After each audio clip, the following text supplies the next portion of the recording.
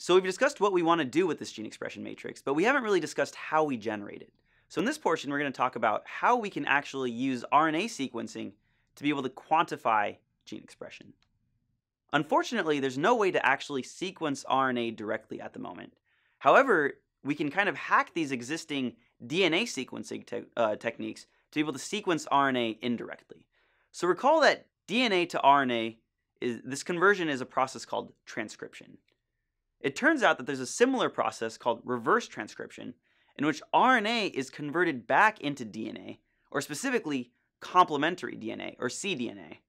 So using this technique, we can take all of our RNA in a given sample, convert it back into cDNA, and then sequence the corresponding cDNA to get a proxy of the measurements of the RNA. So specifically, we have multiple copies of different cDNA molecules where each cDNA molecule should correspond to a single RNA fragment. Then, just like any other sequencing experiment, we just chop up the cDNA into a lot of tiny pieces. Uh, all of them are equally sized.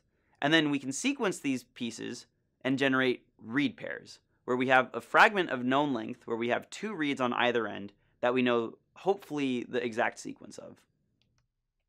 Once we have these reads, or these read pairs, we can then align the read pairs to the reference genome and basically look at how many reads map to every single gene. Recall that gene expression, it's when RNA, it's when RNA is transcribed from DNA. So the number of RNA molecules that came from a specific gene should correspond directly to how many reads mapped to that gene.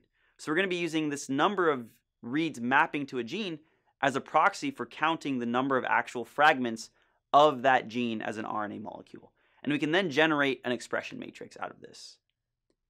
It turns out, however, that this expression matrix is not the end point.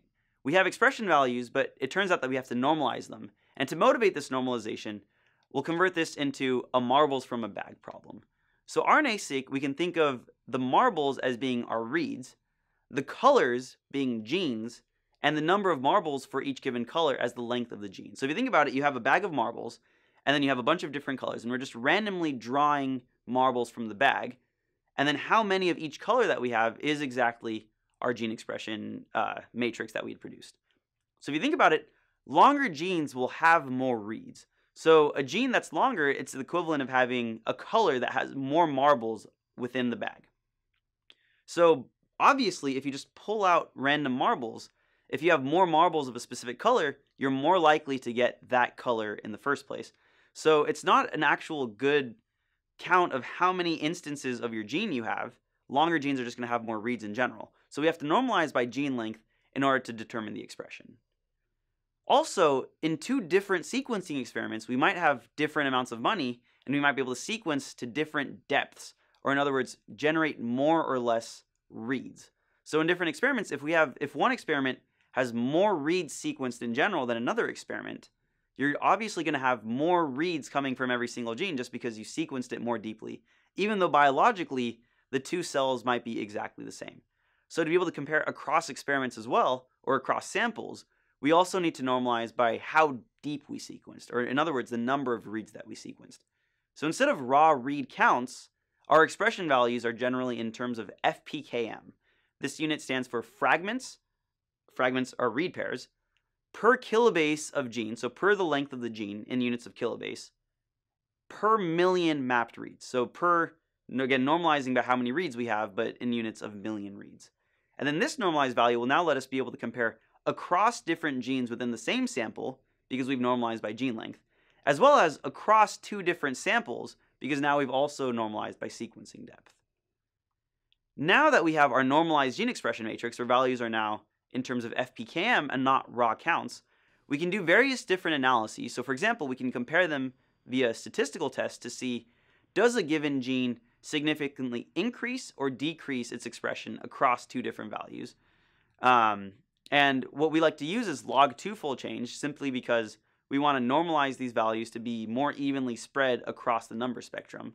Uh, some basic motivation here, if I have sample 2 and sample 1 for a given gene, and the gene doubles in size, then the number that I get as the ratio of this gene is 2. Versus if it halves in size, I get 1 half.